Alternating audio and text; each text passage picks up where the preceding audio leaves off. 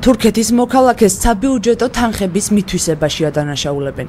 გამოძიებამ დაადგინა, რომ ბრალდებულმა 2008 წელს იაფი კრედიტის ფარგლებში მიღებული 1.955.000 ლარიდან, რომელიც ქობულეთის რაიონის სოფელ ხუცუბანში ციტრუსების გადამამუშავებელი ქარხნის მშენებლობაში უნდა დახარჯულიყო 1.200.000 ლარი მიითვისა. ქობულეთის რაიონის სოფელ ხუცუბანში უნდა აეშენებინა ციტრუსების გადამამუშავებელი მიკრო ქარხანა და დაესაქმებინა საქართველოს 300-მდე მოქალაქე.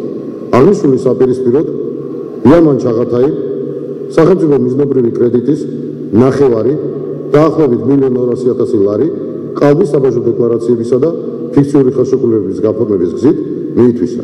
შესაბამისად, ქარხანა დღემდე არ ამუშავებულა და არც სხვა ვალდებულებები იქნა შესრულებული.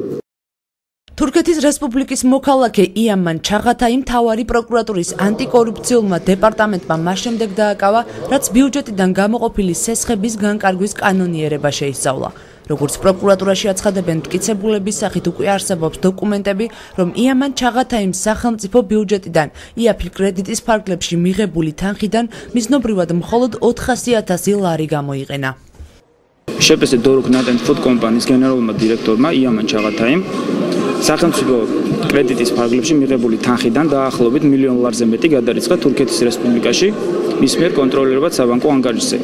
მიზანი იყო საქართველოსი მანქანა დანადგარების იმპორტი.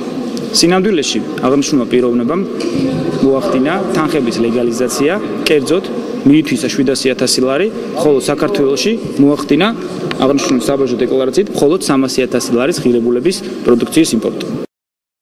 თაღლითობის სქემა, რომელიც თურქმა ბიზნესმენმა განახორციელა, ასეთია.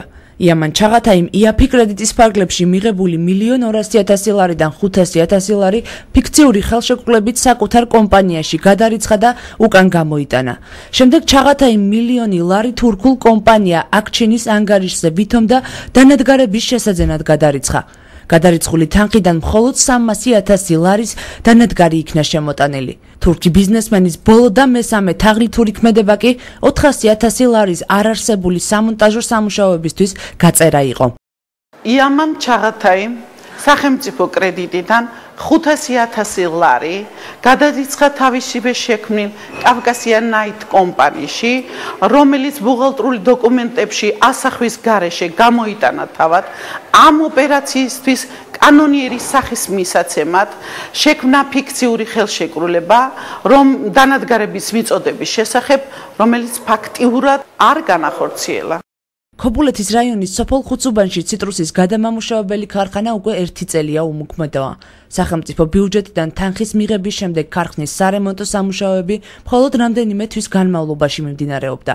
გავრცელებული ინფორმაციით თურქ ბიზნესმენს რამდენიმე თვის მანძილზე დასაქმებული მუშებისთვის კუთვნილი თანხაც არ გადაუხდია. თურქეთის მოქალაქეს ბრალიედება უკანონო შემოსავლის ლეგალიზაციაში, ასევე მიზნობრივი კრედიტის არადანიშნულებისამებრ გამოყენებასა და საბაჟო დოკუმენტაციის გაყალბებაში. დაკავებულს ბრალის დამტკიცების შემთხვევაში 12 წლამდე პატიმრობა ემუქრება.